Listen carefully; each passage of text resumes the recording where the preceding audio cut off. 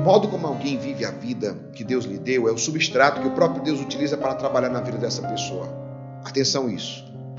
Uma minoria, atenção, uma minoria segue em frente e permanece fiel a Deus. Uma minoria segue em frente e permanece fiel.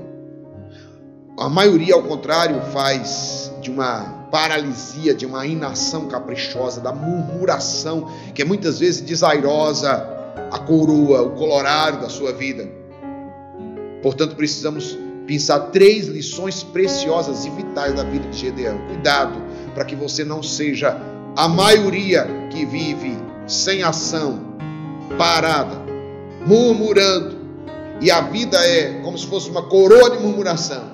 Não, não. Primeira coisa, Juízes 6, 24. Edificou ali um altar ao Senhor e chamou o Javé Shalom. Esse altar existe ainda hoje em Efrade Abiezer. Durante a noite o Senhor disse-lhe: Toma o novilho de teu pai, um segundo touro de sete anos. Destrói o altar de Baal de teu pai e faz o mesmo com o ídolo de madeira que está junto dele. Edificarás então um altar ao Senhor teu Deus.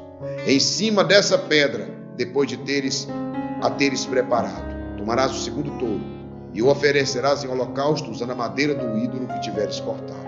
Primeira lição vital para vencer a batalha. Derrube todos os altares e erija um para Deus. Entenda isso, quando decidimos erigir, erguer um altar para Deus, temos que assumir o compromisso de derrubar todos os outros os altares daqueles deuses que não os são deuses. Assim como Gedeão fez, destruiu o altar de Baal para dizer: "Não, aqui não é Baal, é o Senhor, o meu Deus que reina em Deus, por Deus, em Cristo por Cristo". Sabe? Por isso é bem simples. E que altares é esse, Geraldinho? Eu, eu, não adoro Baal, não tem altar de Baal na minha casa. Mas talvez você tenha outros altares que você valorize, idolatre, como o poder, o dinheiro, o sexo, sabe, a fama, o trabalho. Às vezes nós endeusamos pessoas. E quando eu estou falando de pessoas, não é um artista, né? Não, não, não. Às vezes, às vezes tem gente também que faz isso. Mas eu estou falando, tem gente que endeusa o namorado, a namorada. E aí quando acaba o namoro, entra em desespero, entra em depressão. Vou morrer, minha vida não tem mais sentido sem essa pessoa. Não, sua vida não tem sentido é sem Jesus. Mas sem essa pessoa você vive, passa, você progride. Preciso dizer isso para você. Deus me coloca no coração que eu estou falando para uma pessoa aqui, para uma mulher que está aqui, desesperada porque o namoro acabou. Quero te dizer, você não vive sem Jesus, amada. Sem essa pessoa, Deus vai te livrar. Isso é livramento. Você se livrou, pulou uma fogueira. Chore mais não, não lamente mais não. Deus te trouxe aqui para exatamente te erguer, para você entender que você é uma vencedora. E enquanto você estivesse nesse relacionamento, você está no fracasso. Então eu vou te dizer: saiba que, antes de tudo, antes de começar a batalha, antes de chamar os soldados, antes de convocar os soldados, Gedeão edificou um altar para o Senhor, adorando-o como o único Deus da sua vida. Saiba, portanto, que Deus não quer ser o primeiro. Deus não quer ser o primeiro na sua vida. Muita gente diz assim: Deus quer ser o primeiro na minha vida. Não, Deus não quer ser o primeiro na sua vida, nem na vida de ninguém. Deus não quer ser. Nós costumamos dizer. Ao contrário, Deus quer ser o único e tudo em nossa vida. Ele é o único Senhor da nossa vida. Mudou um pouco, não mudou? Ele é o único Senhor da nossa vida. Então, seu marido não é o Senhor da sua vida, sua esposa não é o Senhor da sua vida, seu namorado, sua namorada, seu trabalho não é o Senhor da sua vida, seu emprego não é o Senhor da sua vida, o dinheiro não é o, poder, o Senhor da sua vida, o poder, o sexo, tudo, nada disso é o Senhor da sua vida. Deus é o único Senhor. Escreva isso. Deus é o único Senhor da minha vida. As outras coisas são complementares e não senhoras elas são complementares. Complemento. Ele é o único Senhor. Então, essa é a primeira lição. Toda vida que eu decidi erigir um altar para Deus, eu preciso derrubar todos os outros altares. As outras pessoas que estão nos altares. Meu namorado, minha namorada, meu esposo, minha esposa, meu noivo, minha noiva, meu dinheiro, meu trabalho, isso não pode ser Senhor da minha vida. Nunca, nunca, nunca. Segunda lição de hoje.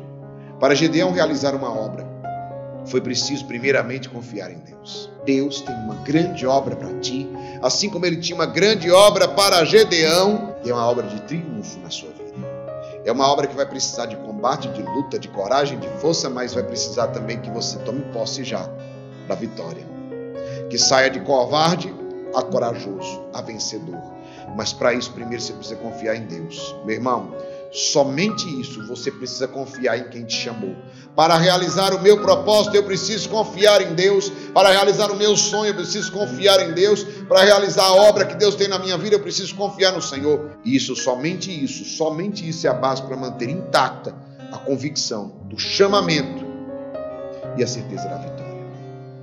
Somente nisso, somente com essa confiança, Somente com essa confiança eu vou me manter no meio. E quando tudo estiver dando errado, Geraldinho, eu continuo firme. E quando você estiver doente, Geraldinho, eu continuo firme. Eu, quem está aqui comigo há muito tempo, sabe disso. Eu enfrentei meses de enfermidade. Eu enfrentei meses, quem estava aqui foi vendo eu murchar, o rosto murchar, ela não está morrendo, o rosto foi fechando, aqui já estava dois buracos aqui no rosto, aqui, e eu perdendo peso, perdendo quase 20 quilos, 19 é quilos eu perdi. E o pessoal foi vendo eu murchar, adoecer. E aí, rapaz? Mas você não tem fé? Tem, por isso que eu estou aqui todo dia. Porque é bem simples, entenda isso. Se eu não confio naquele que me chamou, eu vou definhar. Quando vier o tempo difícil, quando vier a tribulação, quando vier a doença, quando vier o problema, quando vier um momento difícil, eu digo: Não, Senhor, não vou não. Mas eu disse: Eu vou, Senhor, vou, Senhor, vou eu vou até o fim. E Deus foi me honrando nessa confiança. Pela intercessão, unidade, Deus foi me honrando e me levantando. Deus foi me honrando, me levantando. Deus foi me honrando e o rosto foi enchendo depois, né? De novo, né? E eu vou dizer para você: é assim que é. É assim que faz. Entende? É preciso entender que tem que ter uma base. Para ser vencedor, para ser triunfante, você tem que ter uma base. Isso é uma base. Que base é essa? é a convicção do chamado, a certeza da vitória, mesmo em, em, despeito às crises, às circunstâncias que nós iremos enfrentar, aos perseguidores, aos caluniadores, aos invejosos, às intempéries da vida, às enfermidades que vierem. Para Gedeão, era limitado na teologia, ele conhecia pouco. No conhecimento de Deus era pouco, a sua fé foi provada de uma forma muito simples. Colocou uma lã na eira e disse: Senhor, se a lã ficar seca, e, a terra molhada, eu acredito. Aí aconteceu isso. A lã seca e a terra molhada. Depois, Senhor, não me leve a mal, não, mas não foi o contrário agora. Se a lã ficar molhada e a terra seca, eu acredito. Aí o que aconteceu? Mesma coisa, no outro dia, o velo, só o velo ficou seco, enquanto todo o solo estava coberto de orvalho. E aí, Gedeão disse: Agora é confio então, vou dizer para você, nós comparados a Gideão, nós temos hoje muito mais revelações, mais condições de enfrentar as batalhas da vida com confiança, com fé no Senhor que nos chamou. Assim, cada combatente, cada líder, ei, Deus está te chamando para liderar, irmão. Deus está te chamando para ser líder, primeiro líder da sua vida, depois líder da sua casa, sua família, seu projeto, seus planos, seus sonhos, para liderar. Ele deve se apegar à certeza, à sua certeza de fé para realizar a sua missão. Essa é a segunda lição vital. Terceira lição vital para vencer o combate, qualquer combate, ser triunfante em 2021. Cuidado para que o seu sucesso não seja a porta de trás para o seu fracasso. Ah, esse daqui é um aviso. Meu irmão, temos de cuidar para que o nosso sucesso não seja a porta de trás do nosso fracasso. Depois da campanha vitoriosa, Gedeão rejeitou o poder militar, rejeitou o poder político, mas sucumbiu em um momento. Os israelitas, versículo 22. Josué 8, 22. Os israelitas disseram a Gedeão: o nosso rei, tu, teu filho, teu neto, porque tu nos livrastes da mão dos madianitas. Depois da vitória, estou falando depois da vitória. Não, respondeu ele, não reinarei sobre vós, nem meu filho, tampouco, é o Senhor quem será o vosso rei. E ajuntou: Tenho um pedido a vos fazer, que cada um de vós me dê as argolas de vosso despojo. Os inimigos, que eram os ismaelitas, ismaelitas usavam argolas de ouro eles responderam: Daremos com prazer. E estendendo no chão um manto, lançaram nele as argolas de suas presas. O peso das argolas de ouro que ele tinha pedido era de 1.700 ciclos de ouro, sem contar os colares, brincos, ornamentos de púrpura que contavam, costumavam usar os reis de Madian. Afora ainda os colares que traziam seus camelos no pescoço. Gedeão fez de tudo isso um éfode e expôs na sua cidade de Efra, mas todos os israelitas se prostituíram ante esse éfode, que se tornou assim um laço para Gedeão em sua casa. Simples. Gedeão terminou, terminou, blá, blá, blá, tinha tudo para ir. No final, hum, ele se encantou com aquilo e aí ele sucumbiu. Então vou dizer para você, cuidado para você não querer aquilo que não é seu. Gedeão terminou com um propósito diferente dele. Deus o levantou para comandar o povo, para governar o povo. Depois ele foi buscar, foi o poder religioso. Ele queria ser honrado como. E aí aconteceu o que? Os israelitas depois se prostituíram, depois nem lembraram de Deus. Gedeão. Então é bem simples, meu irmão. Pessoa que alcança o sucesso segundo Deus não é aquela que sucumbe a argumentos bajuladores da hora, nem segue os conselhos e práticas dos maus, mas aquele que medita a palavra do Senhor. E eu vou te dizer uma coisa: simples isso para você. Não se desvie do seu propósito. Cuidado para que o seu sucesso não seja a porta de trás para o seu fracasso.